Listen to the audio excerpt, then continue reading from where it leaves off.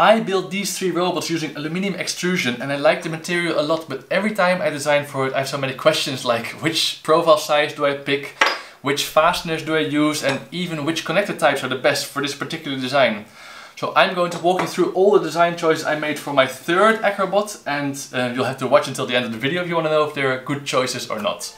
Hi, my name is Daniel and you are watching the first in a short video series about the Acrobot. This is an acrobatic robot that I perform with and I'm originally a circus artist but thanks to YouTube videos I was able to learn robotics and with these short technical explanations I want to give back to this community. So full disclosure, I was given some of the extrusion for free by aluxprofile.com, but they don't even know that I'm making this video, so all the opinions here are my own. And even before they sponsored me, I was already buying their materials because I really like them. When you start with a design, the first thing you need to decide is the profile size. 2020 is very common on small machines like for example a 3D printer, but there's also 3030 and 4040 which you might want to use if you're building something like a desk or something that carries a lot of weight. And for all these sizes there's also double profile width to consider. But I actually started out with 1515 which is a smaller size and I used it on my first robot. But 1515 also uses these fiddly M3 screws, whereas 2020 uses M6 size, which is much stronger, and that's why ultimately I designed my later robots with this material. I talk much more about the hardware difference between these two in my previous video, which is also linked somewhere in the description. In the previous video I also recommended friction fits with button heads. It's where you slide a button head into the slot and then you can tighten it if you drill a hole through it. You can tighten it with a wrench and make a really tight and cheap connection that is very strong. But one thing I didn't realize then is that you can actually still twist the beam. If for some reason it's not locked on the other side or whatever, you can twist it and it loosens very, very easily. That is one of the reasons why for the new robot I chose to use these three-way corner pieces. And I have one over here.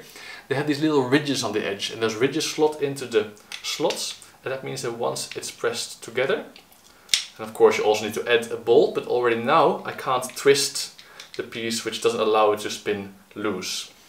I still use the friction fit. I use it for example here above this beam, but also in the back, which was a bit of a mistake because there's this plexiglass, which means I can't access the bolt from the top if I want to tighten it. And I do want to tighten it sometimes because the whole robot vibrates so much that every bolt needs to be tightened periodically. Of course in the back you can't see the corner pieces because there's these handles, but that's why I designed these holes so you can still access the corner pieces that are behind it. They just go through like that. And then the last thing I needed to decide are the kind of nuts I wanted to use in the slots. There's three types of nuts that you can use. The twist nut, the roll-in nut and the slide nut. And the first two are the most flexible because you can place them in the middle of the beam. For example, this twist nut you place and then you twist it and it automatically locks itself in place. And this is super convenient. That's the one I started with. But it turns out that if you want to actually use it, you usually cover it with something and then you can no longer see if it twisted correctly. You have to feel if it twisted all the way. And in some cases, if it doesn't twist, then it stays loose and that is a risk when you design something that needs to be tight. So instead I chose to go for the roll-in nuts. And the roll-in nuts have a ball spring on the end that make it lock in place and you can roll them in from the side of a profile. You use a little something like a screwdriver and then with a bit of force it pops into place and then it can still slide with a bit of force. They're quite convenient to place in, but they're really hard to remove out. Even with a lot of force, sometimes I can't manage to get them. Maybe there's a trick that I haven't discovered yet, but the few that I did manage to remove damaged my extrusion a lot and I didn't like that. So on the places where I already knew that I needed to place something anyway, I placed the slide nuts.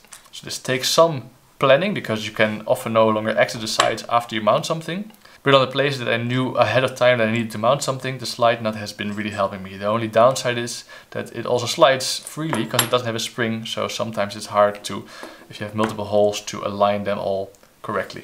I order my extrusion pre-cut to size because it's really difficult to make perfectly straight cuts yourself and you need straight cuts for perfect connections. That means I need to design the whole thing first in 3D to know all my dimensions and that takes away some flexibility but even then still I don't for example know exactly where I want to place the holes for this handle and with T-profile I can do that easily. Or later on I decided that I need this relay and I was able to make a holder for it really easily and I even changed the way I mounted a few of the points. In the end the frame is light, very rigid and the material is very easy to prototype with so I'm very happy with my choice to use aluminium extrusion for this particular project.